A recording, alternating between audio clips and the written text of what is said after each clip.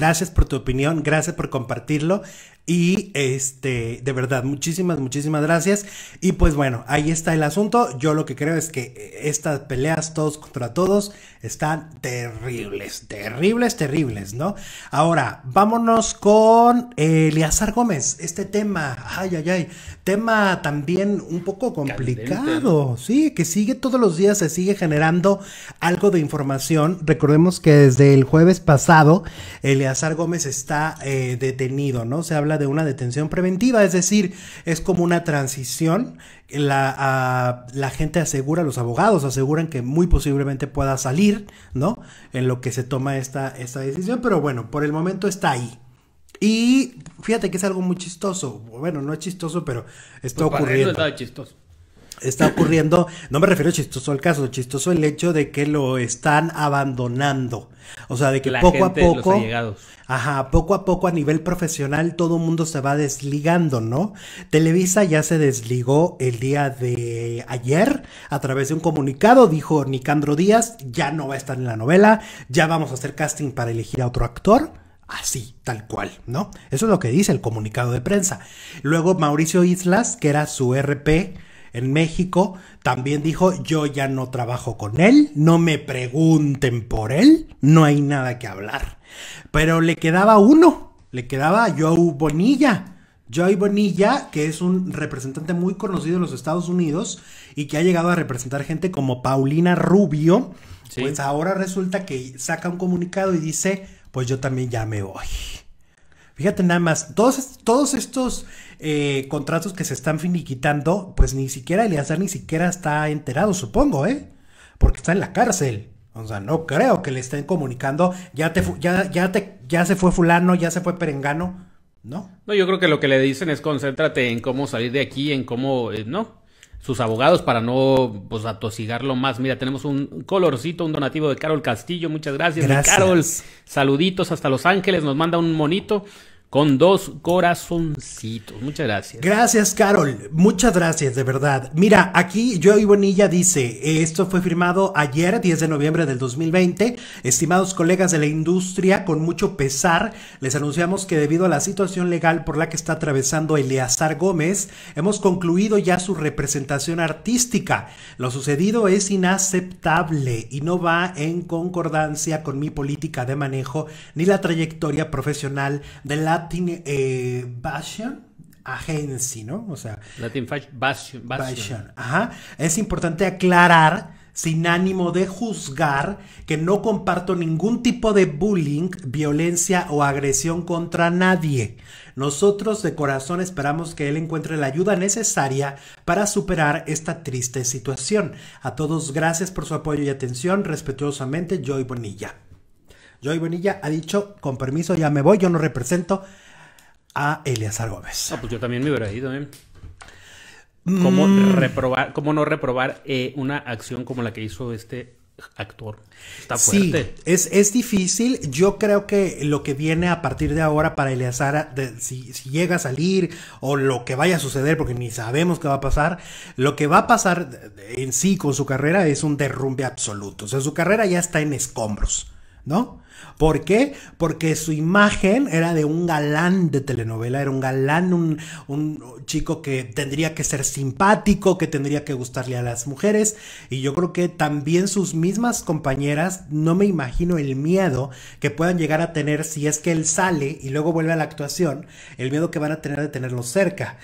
No porque él ande golpeando a sus compañeras, sino por el simple hecho de ser una persona violenta. Es que mira, simplemente cuando los villanos de las telenovelas, la imagen que tenemos de ellos, pues es que son malos, malos, malos. Entonces te los llegas a encontrar, yo les huyo. Me pasó con Alejandro Camacho. Me parece como que me van a, me van a atacar o me van a hacer alguna grosería. En ahora, alguien que ya está confirmado, o bueno, por lo menos es la lo que hemos visto, ¿no? Las imágenes, todo indica que él golpeó a esta muchacha. Imagínate. A mí me pasó con Alejandro Camacho. Te pasó con Alejandro Camacho. Eh, hace algunos años que andaba yo en los pasillos de Televisa ahí entrevistando gente, él estaba haciendo Alma de Hierro, ¿ok? Sí. Y entonces cuando lo veo venir dije, Ay, Alejandro Camacho. Me va a hacer algo, me va a hacer algo. Me No, o sea, dije, me le acerco, le pido la entrevista, no se la pido, porque tengo, o sea, dirán ustedes que ridículo y que absurdo, pero pues es la imagen que yo tenía en ese momento, ¿no? No, es que, sí. Y, entonces yo dije, Ay, ya me acerco, o sea, rompí la barrera de decir... Te armaste de valor. Son personajes, son personajes, Alexito. Entonces ya me acerco, lo entrevisto y es un encanto. Pues todo lo contrario, ¿no? Pero entonces, pero tenías la imagen ficticia. Ahora alguien que de verdad está en el ojo del huracán por haber golpeado a alguien, pues le huyes. Y, es cuando, por ejemplo, yo entiendo a los que aman a los, a los protagonistas de novela que se ciegan y que no, no, no, no, es que él es bueno, es que no, estás hablando de los personajes. Claro. lo que pasa es que tu percepción es sobre los papeles. Y luego dicen, por ejemplo, a mí no me consta, nunca viví en la, ciudad, en la Ciudad de México en los ochentas ni en los noventas, que en aquellos tiempos a los villanos les aventaban con cosas cuando se los encontraban en la calle, que hasta piedras les tiraban, que creían que era... ¿No? Te, te, cuento con quién también me puse nervioso. ¿Con quién? María Rubio. Con María Rubio. Con Catalina Cris. bueno, pues, ¿qué pensaste que te iba a sacar el, el, la daga, no? Y te iba a matar ahí. Pues no sé qué pasaba por mi cabeza porque me temblaba todo. Mira, yo. No, y luego, y luego te, ¿no te ha pasado que, que algunos que los ves en la tele muy amables, muy sonrientes, te les acercas y son todo lo contrario? Ejemplo, Ernesto La Guardia. Él es una lindura en la pantalla. No, es, no lo ves sonriendo. Dices, no, no, no, ese, ese es un bombón de bombón no tiene nada. Entonces así pasa. Te, te, te, ¿cómo se dice?